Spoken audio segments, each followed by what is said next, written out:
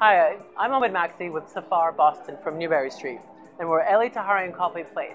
And it's one night in glam, what should I do with my hair retail tour. Our first stop is at Elie Tahari, where we talk to the clients about what to wear and how to wear it from this season to the next, and how to mix and match both seasons in one closet shopping trip. I want to show you some of the styles from tonight and how you can go from fall to spring with one shopping spree.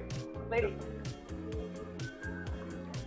So she has on a spring dress with a winter coat. Give us a 360 and take the jacket off. So this is a spring collection dress from Elie Tahari, and you can buy that now and then wear it for the New Year's parties or Christmas parties, and then throw a winter coat over it, also Elie Tahari. And then you have yourself a dress that you can wear in two or three different seasons. Gorgeous. Got a gorgeous cocktail dress for the spring. Give it a 360. It's Italia, Miss T, Rhode Island. And you can buy that dress now, which is spring collection, but then pair it with a faux fur wrap for the fall and winter. So you can buy a dress and use it again in two or three different seasons. 360.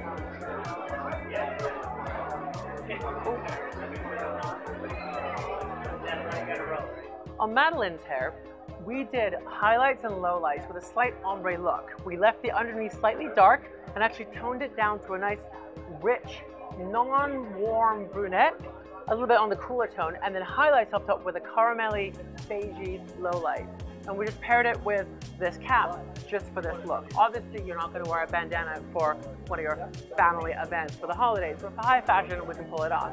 And we actually left her hair very natural. She's curly and kind of frizzy. So all we did is slightly tease it and use a small curling iron barrel and make it even tighter. But we left it kind of bohemian chic meets runway couture.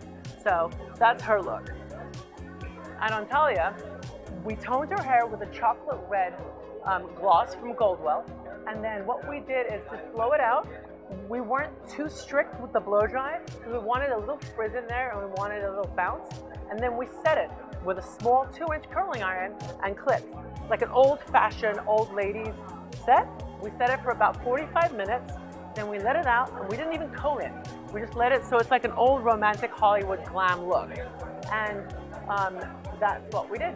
So two different looks, one easy place, Safar Boston. But now Saul one of my co-stylists is going to show you a whole different look. And what she has right now is the ombre look, which is very popular right now, which is basically just the light pieces on the end that are highlighted and we're dark in the top pieces. Uh, we also, what we did today was we curl her pieces, pinned it up, and then with a brush just softened uh, her hair down, which gave her this fabulous look.